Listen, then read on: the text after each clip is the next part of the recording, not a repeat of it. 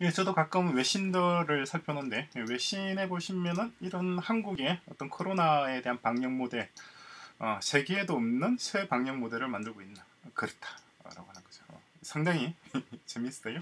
근데 어떻게 해서 한국에는 이런 세계에도 없는 새로운 코로나 방역 모델이 가능한가? 그 이유는 어, 제가 생각하는 이유는 여기 음, 해답이 있는 것 같아요. 그러니까 지난 한 해만 생물화학 환경계열 대졸자가 18,393명, 약 2만 명이라 말해요. 거의 2만 명이 가깝다는 거죠. 이게 비결이죠. 물론 다른 나라도 어, 어, 우리나라보다 훨씬 더 많은 생물화학 환경 계열 대졸자가 있었지만은 그런데 왜 다른 나라는 그럼 그렇게 못했느냐? 어, 그거는 다른 나라에는 한국에 있는 IT 인프라가 없었다는 거죠. 그죠? 그래서 아, 모든 것은 서로 연결돼 있어요. 자, 2020년 3월 10일입니다. 9일이 아니라 10일이고 프로젝트 진행 상황을 간단하게 정리를 하려고 그래요.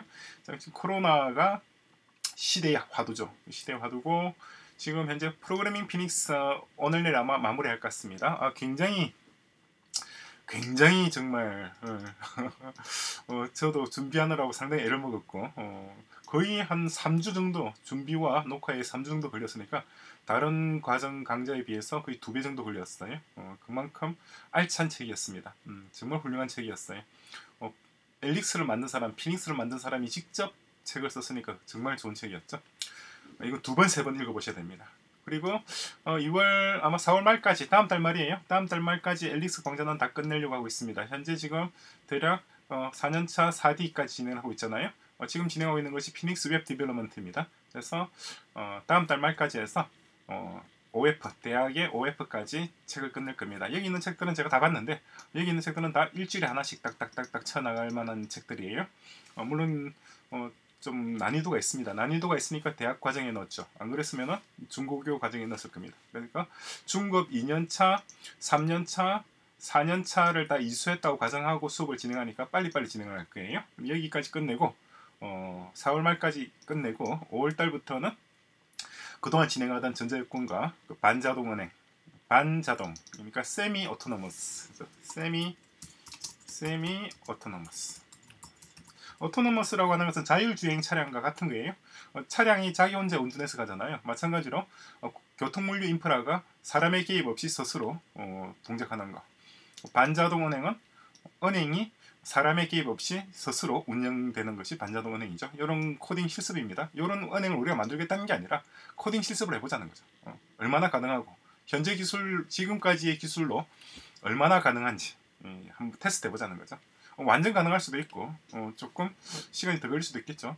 그리고 이것만이 다가 아니라 어떤 어, 시장 인프라라든가 산업 인프라라든가 입법 사법 인프라라든가 혹은 요즘 말도 많고 달도 많은 어떤 방역 인프라 반자동 방역 인프라 어, 그런 것들도 사람이 상상할 수 있는 건 다 코딩 해 볼 수가 있죠.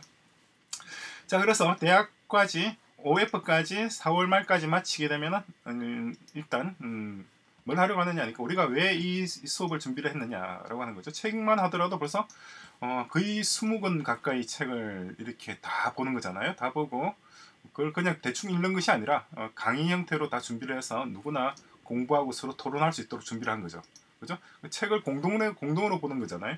이런 과정을 왜 준비를 했느냐니까 어, 5월 달부터 실제 코딩 프로젝트를 진행하는 그 Rust 강좌를 시작할 텐데 여기에 어떤 참여할 수 있는 음, 저변을 좀 넓히자는 거죠. 왜냐니까 조금 전에 말씀드렸습니다만은 이게 가능하니까 한 해만 2만 명 가까운 전문 인력이 나오니까 우리나라가 전 세계에도 없는 코로나 방역 인프라 체계를 구성을 할 수가 있었단 말이죠. 그죠? 방역 모델을 마찬가지입니다. 어떤 저변이 없으면 안 돼요. 그래서 엘릭스를 다 마친 사람들 여기 5위까지 마친 사람들이 올해 말까지 제가 기대하기로는 1000명 정도 나와줘야 돼요. 1000명 정도 나와주면은 하다못해 100명까지만 나왔더라도 아, 100명까지도 좋습니다.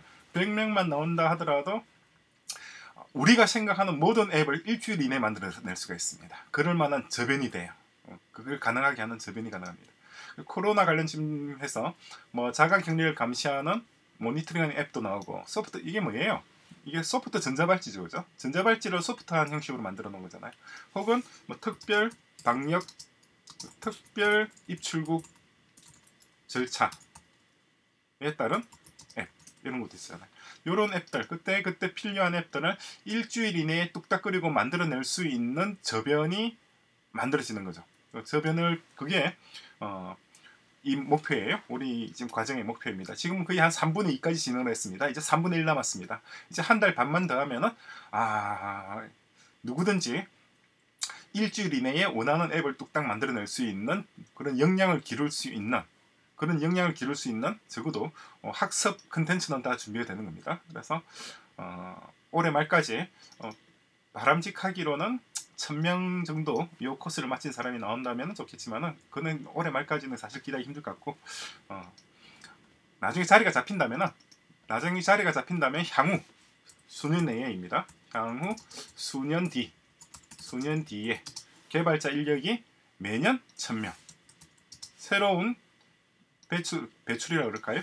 배출 배출 규모 규모가 매년 1000명 수준. 지금 우리나라 이공계 출신 중에서 자연과학 출신의 졸업자가 매년 2만 명 정도 나오고 있잖아요. 그 2만 명의 20분의 1 정도, 20분의 1 정도인 어, 매년 1000명 정도만 우리 우리가 구성한 OpenHash 캠퍼스가 구성한 이 functional programming 그죠? functional programming과 machine learning과 cryptography 블록체인이죠. 블록체인과 이런 것들을 마친 인력이 어, 1000명 정도만 나와준다 그러면 이 1000명들 사이에서 어, 서너 명 혹은 네다섯 명이 팀을 구성하고 이 팀들은 어떤 종류의 프로젝트도 수행 가능한 팀들이 되는 거예요. 그게 그게 우리 오픈에시 캠퍼스가 어, 진짜 지향하는 바입니다. 그래서 지금 우리나라 대한민국 정부가 향후 5년간 약 50조 원 이상을 4차 산업에 투입한다고 예정을 했어요. 어, 57조 원인가? 57조 원인가 58조 원을 어, 4차 산업 IT죠 그러니까 IT 인프라에 투입한다고 돼 있는데 지금 이 뭐 많은 금액을 투입하는 것도 좋지만은 정말 어, 어떤 종류의 어플리케이션이든 일주일 이내에 뚝딱거리고 만들어내는데 그 어플리케이션은 backend와 서버와 frontend, user interface와 데이터베이스와 security와 cryptography와 그리고 machine learning 모듈까지 같이 되어 있고 바람직하기로는 robotics까지 robotics 하드웨어적인 부분입니다. 이런 것들이 아우러진 앱 이런 것들이 아우러진 앱을 만들어낼 수 있는 팁이 우리나라에 제가 알기로는 아, 몇팀 안 될 거예요. 제가 아는 범위 내에서는 손으로 손에 꼽을 정도밖에 안 됩니다.